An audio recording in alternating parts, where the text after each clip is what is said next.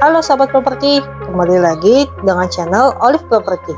Hari yang kira ini Olive mau mereview rumah yang sangat strategis di Citra Raya Cikupa yaitu yaitu Kaslano dari Citra Raya Cikupa. Sebelum melanjutkan video ini, jangan lupa untuk klik like, subscribe, dan tekan tombol loncengnya. Berikut adalah penampakan dari rumah Civico 8x15 yang harganya di bawah 1M. Gak banget ya, untuk carportnya bisa muat dengan dua mobil dan motor. Dan di sebelah kirinya terdapat taman kecil untuk mempercantik rumahnya. Yuk, mari kita lihat ke dalam rumahnya.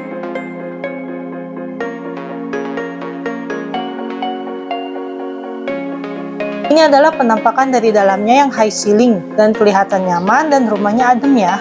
Nah, untuk area keluarganya ini, ceilingnya tuh kurang lebih 4 meteran ya. Dan untuk lantainya pun sudah menggunakan HT ukuran 60 x 60. Berikut adalah kamar tidur anaknya yang sudah terdapat jendela besar juga supaya pencahayaan alaminya tuh maksimal ya. Dan kamar ini ukurannya kurang lebih 3 meter kali 3 meter.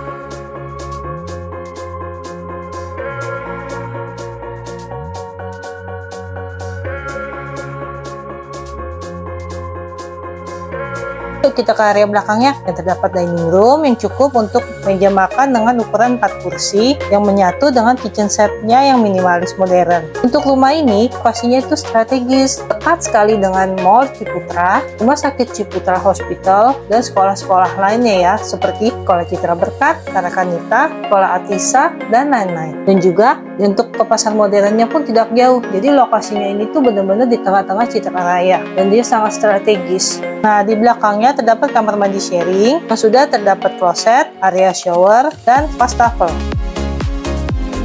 Nah, ini adalah penampakan dari master bedroom yang cukup besar dan nyaman. Bisa muatnya untuk kasur ukuran king size dan lemari baju yang cukup besar juga dan meja rias. Ayo, apa yang kalian tunggu? Angkat HP-nya dan langsung WA Olive ke nomor yang ada di kanan bawah yaitu di 0853 6891 8487. Oh iya, kalau ada teman-teman yang ingin menitip jual rumah-rumahnya, boleh hubungi Olive. Sampai di sini dulu ya. Jangan lupa untuk menyaksikan video Olive yang selanjutnya. Terima kasih.